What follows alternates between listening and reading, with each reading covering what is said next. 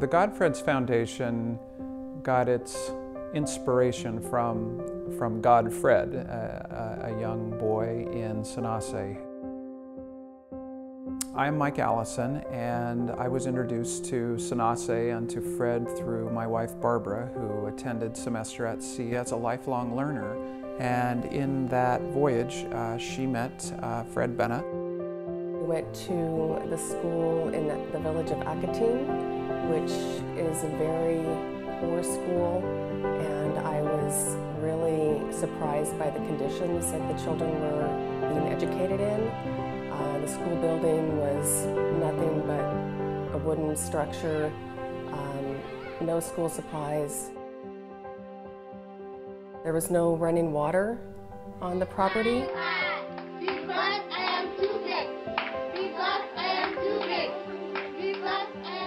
Education in villages like Senase and the rest of it in Ghana seems to be like a punishment for we the children experiencing it because to us education is not fun. To us, education is something that you're forced into it. Imagine a child in a Akatim walking for two hours from his home to school. We were being punished for not paying school fees. Meanwhile, the problem is not from us. One of the things that struck me most is that visiting with the teachers, um, they were very discouraged by trying to educate these students whose families were mostly farmers and didn't have education themselves.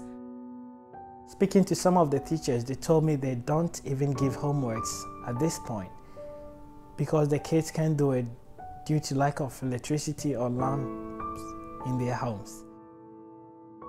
Simply put, what we take for granted in the Western education system is not possible in Ghana. Being a victim of the education in these rural villages has motivated me as a person to do the best that I can to change this environment. So when I was traveling in Ghana with Fred, I got to know him very well and was just so impressed by just how bright and um, how much energy he had and how determined he was to make a difference in the lives of other children, the people in his community.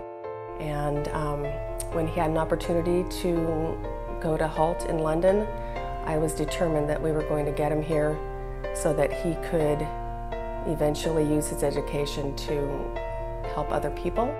Getting the opportunity to study abroad I've seen a great difference between education abroad and education in my country, Ghana. He also started right away to give back to others by sponsoring this young boy named Godfred. And the way Godfred got to the best school was because of Fred and having a sponsor, someone who was willing to pay the funds for uniforms, for the school fees, for the supplies.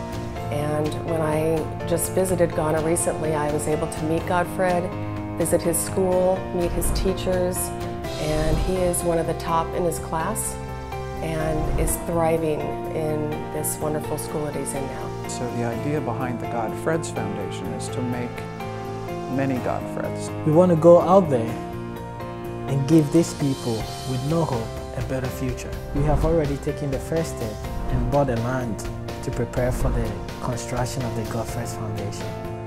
Ultimately, we want to provide a society in Ghana where children have the opportunity to discover their passion, learn how to communicate, learn how to follow their dreams, and how to deal with challenges ahead of them.